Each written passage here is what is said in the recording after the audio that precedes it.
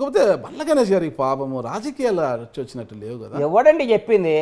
రాజకీయాలు వచ్చి వచ్చినట్టు లేదండి అని మీరే అన్నాడు ఇంత అన్నాడు అనేది ఒక సాంగ్ ఉంది కదా ఒకటి కాదన్న రాజకీయాలు ఉంది. వచ్చి లేదనే మాట నువ్వు ఎట్లా మాట్లాడుతున్నావు అవును కాంగ్రెస్ పార్టీలో గత రెండు వేల పద్దెనిమిది వరకు పోటీ చేయలేదు.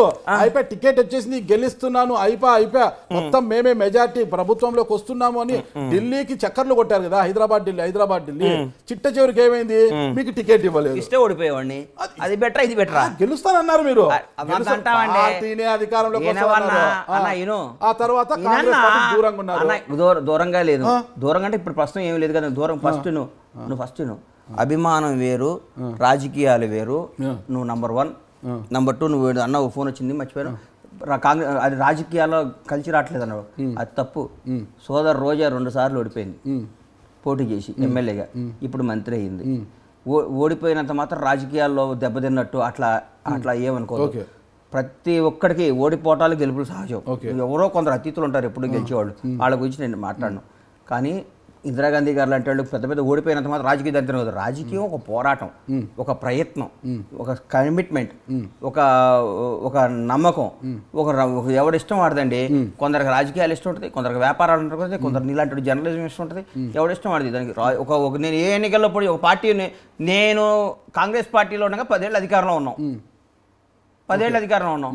ఆ రాజశేఖర్ రెండు వేల నాలుగు నుంచి రెండు వేల పద్నాలుగు మేము అధికారంలో ఉన్నాం. రాజ మళ్ళా ఇదే మాట్లాడతారండి. రాజశేఖర్ గారు రెండు వేల పద్నాలుగు వరకు లేరండి. రెండు వేల నాలుగు నుంచి రెండు వేల తొమ్మిది వరకు రెండు వేల తొమ్మిది రాజశేఖర రెడ్డి గారు. వచ్చినాక కాంగ్రెస్ పార్టీ పదేళ్ళు అధికారంలో. లేరండి అవన్నీ మాకు తెలుసండి. నువ్వు పుల్లలు పెట్టకండి. నువ్వు ఏదో ఇరికియాలని నా ట్రోలింగ్ కోసం చేయకండి.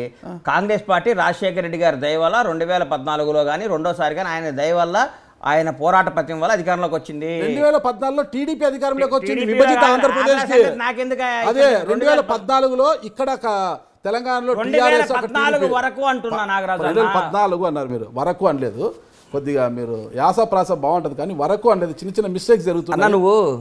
చిన్నపిల్లాడి శాస్త్రాలు మానేసి సిన్సియర్గా మాట్లాడన్నా కాదు. రెండు వేల పద్నాలుగు వరకు ఇక్కడ పులిస్ viewers- స్టాప్ పెట్టారు. ఇది కరెక్ట్ కాదు. నువ్వు చిన్నపిల్లాడి వ్యవహారాలు చేయమాక. ఇంటర్వ్యూ చేస్తే సింహంలా గడుగు నేను సింహంలా చెప్తా. సింహంలాగానే ఇరికి అండి. బాగా తప్పిస్తే అక్కడ పులిస్ స్టాప్ 2014 పెట్టలేదు. ఇక్కడ కాంగ్రెస్ రెండు వేల పార్టీ పద్నాలుగు వరకు అన్న. ఇప్పుడు ఓకే. ఆ. ఇప్పుడు ఓకే. ఎందుకంటే ఇంతకుముందు ఇంతకుముందు నేరం చేశానా? ఇంతకుముందు మర్డర్ చేశానా? లేదు లేదు మరేంది. ఒరకు ఏందన్న రాజశేఖర రెడ్డి. తెలియదా? రాజశేఖర రెడ్డి గారు రెండోసారి అధికారం తీసుకొచ్చిన సంగతి మాకు తెలియదా మరి. ఏందండి నువ్వు మాట్లాడే మాటలు మాట్లాడు అడుగు నేను చక్కగానే అడుగుతున్నాను. ఓకేనా? సరే కాంగ్రెస్ పార్టీ టికెట్ ఇవ్వకపోతే మళ్ళా తర్వాత రెండో నేను ఇంటర్వ్యూ చేసినప్పుడు అతను ఈ రాజకీయాలకు నేను దూరము రాజకీయాలకు సంబంధం లేదు. నా ఇంటర్వ్యూలోనే అన్నారు. ఈరోజు నేను కాంగ్రెస్ పార్టీకి దూరం ఎక్కడైనాను? నేను రాజకీయాల్లో ఉన్నానని ఈ రోజు అంటున్నారు కదా. మీరు ఇంతకు రాజకీయాల్లో ఉన్నారా లేదా? ఉన్నా. ఉన్నారా?